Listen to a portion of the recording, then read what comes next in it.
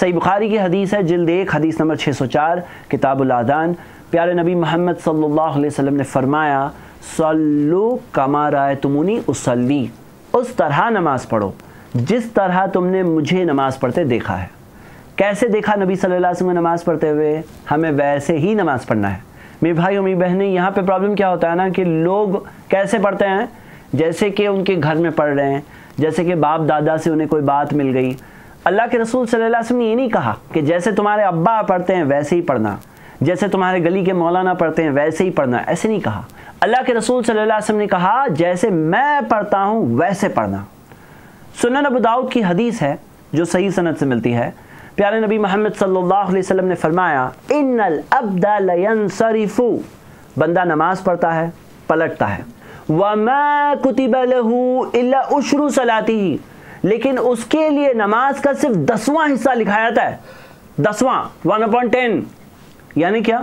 دس نماز پڑھے گا تو اسے ایک نماز کا ثواب ملے گا۔ تو سوہا، کسی کے لیے نواں نو نماز پڑھے گا تو ایک نماز کا ثواب ملے گا۔ سمنوہا، صبوہا، سدسوہا، خمسوہا، ربوہا، ثلثوہا، نصفوہا۔ کسی کے لیے آٹھواں، کسی کا ساتواں، چھٹا، پانچواں، چوتھائی، ایک تہائی، آدھا۔ بھئی نماز تو پوری پڑھی میں نے۔ تو یہ ثواب کیوں کم مل رہا ہے؟ اس بارے میں صحیح بات یہ ہے کہ جتنی سنتوں پر باہر عمل ہوگا اور جتنا خوشو اندر ہوگا، اتنا ثواب زیادہ ملے گا۔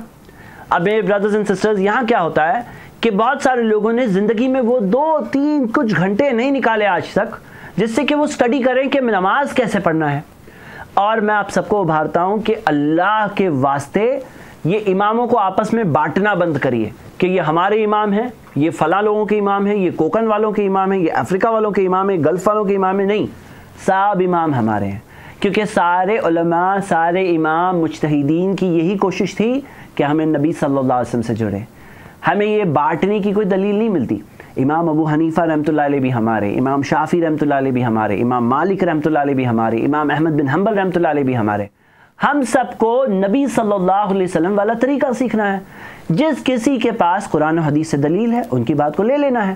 اور آپ خود سوچو، اگر نماز میں، ایک نماز میں اگر ایک غلطی کو سدھار لیے، ایک غلطی، زیادہ نہیں، صرف ایک غلطی اگر سدھر گئی، تو آپ کو پتا ہے کہ جتنی رکعت پڑھ رہے ہیں، اس سے ملٹیپلائی ہو گیا وہ۔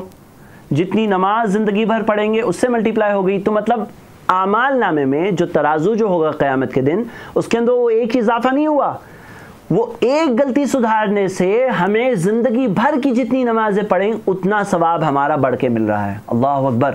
تو اس موضوع میں کتنا ضروری ہے کہ ہم لوگ تھوڑا سا وقت نکالیں اور نماز کے طریقے کو سٹڈی کریں۔